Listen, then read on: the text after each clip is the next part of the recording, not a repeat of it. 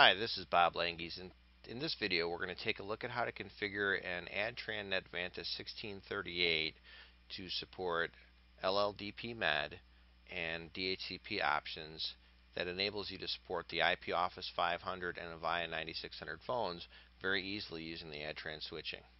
And here we have a, a default 1638 switch running uh, the current version of the software today for firmware.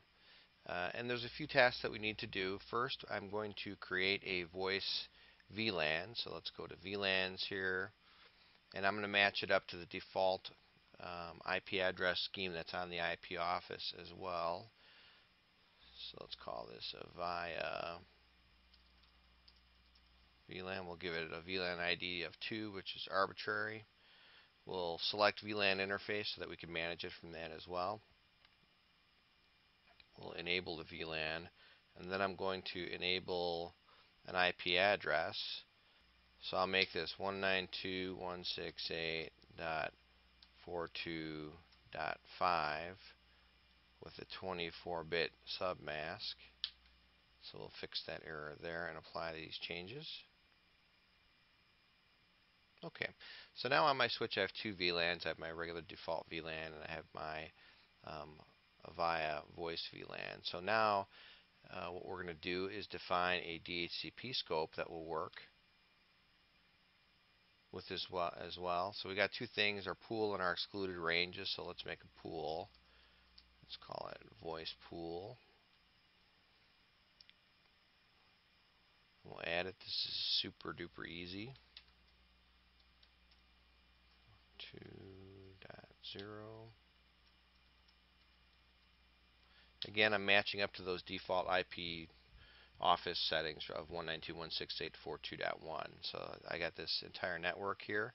I will make the gateway my switch for now in my network. Your network may be different, but this is what I'm going to use for now. For some reason, I seem to like that 4.3 instead of 4.2, which happens to be the secondary interface on the IP office, but we're not going to worry about that now.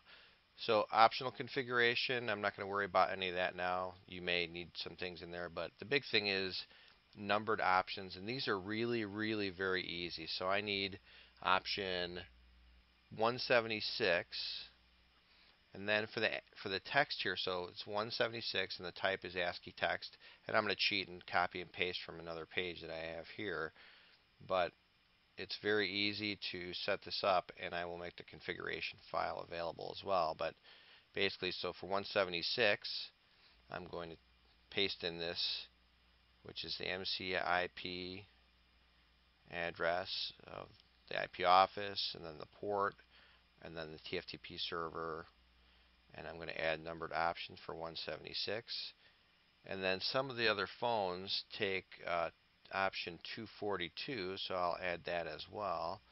242 in the same deal. I'm just going to copy and paste out of my configuration file just so I can show you how to do this in the GUI here.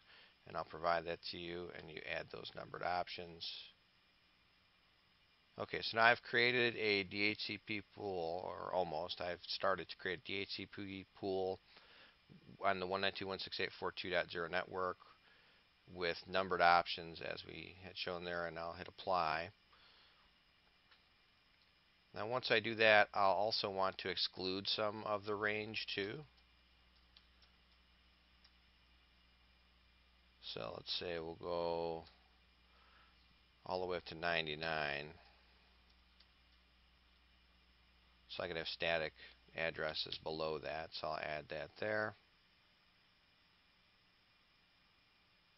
Okay, so now I have a DHCP pool for my voice VLAN, which I'm going to set this up here, 192.168.42.0 network, and it's going to exclude uh, the addresses from 1 to 99 in that network to give us places to put things. So LLDP is on by default on the NetVantas switches. So if you click on LLDP there, it basically in that setting is just going to tell you, you know, which ports are enabled to send and receive LLDP. Uh, there's the odd chance sometimes you turn off that functionality, but if you're just if it's a new switch, it'll be on. And what I'm going to I'm to do two things here. I'm going to show you how to do this in the GUI, but really what you're going to do is you're going to jump down in the command line to apply it to all of the ports.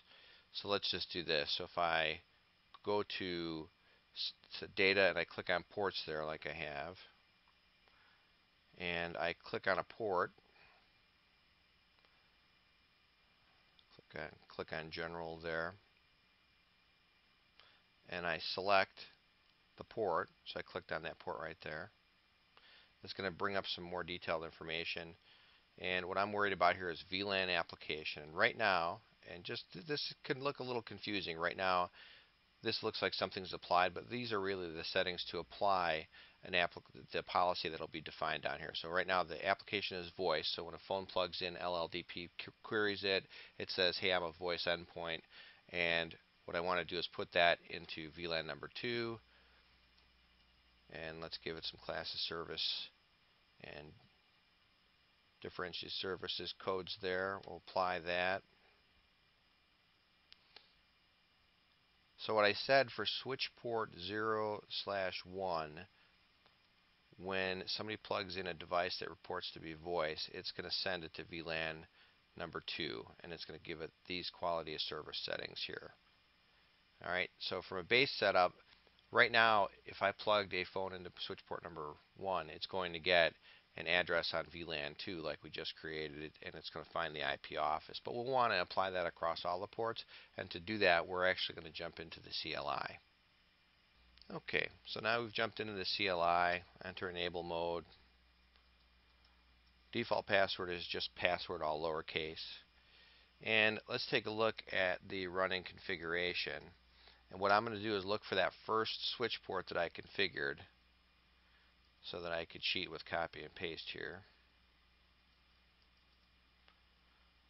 Let's see, here's my DHCP range. So if you look, here are the ranges that I've created with the options. So even if you wanted to just cut and paste this part of the config, you could do that as well, but I like to show it in the GUI so you could see that.